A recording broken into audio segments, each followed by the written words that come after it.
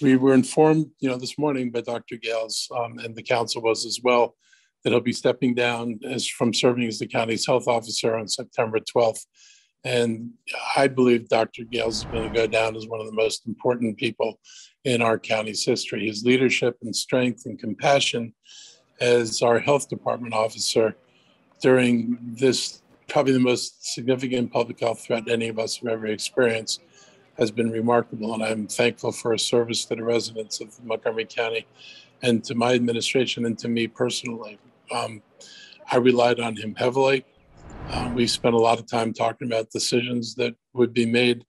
And I had complete confidence and continue to have complete confidence in the leadership he provided and the direction um, that he helped to lead the county.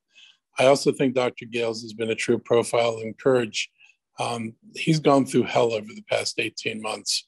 And the first is he's had to fight with his boss, who's the governor. Um, he advocated policies that were often opposed to what the governor was advocating. And I don't know if most people realize this, but the health officer is actually a joint appointment of the county and the governor. And so to be at odds with your boss is not an always not always an easy thing to do. To be at odds with your boss in a high profile situation for 18 months is probably an extraordinarily difficult thing to do. But that's one of the things I really appreciated about Travis having the courage to tell us the right thing and not the political thing and being willing to do that, knowing that he was making one of his bosses very unhappy.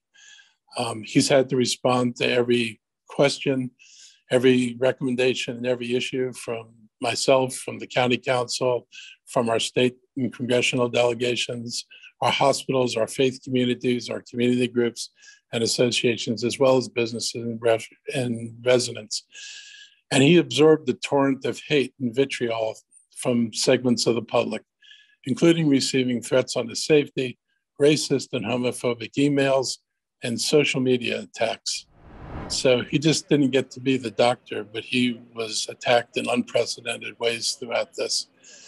Um, yet it was his recommendations and consistent guidance on the best health practice that actually enabled us to be one of the safest large jurisdictions in the country in combating COVID.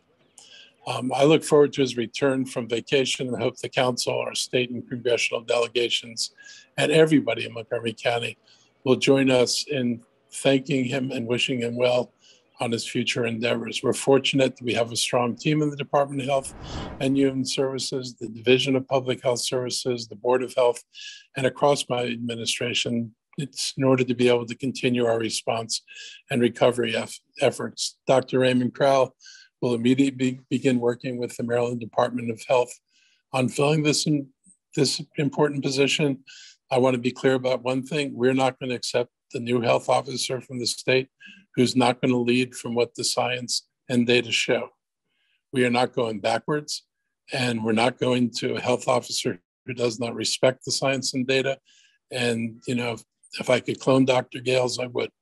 Um, but whatever we, we are going to get is going to be somebody who has dem- can demonstrate the same kind of leadership and courage that Dr. Gayles was able to demonstrate, um, and to be independent, which is the most important thing. If you find our videos useful to you, please like, share, and subscribe to our channel.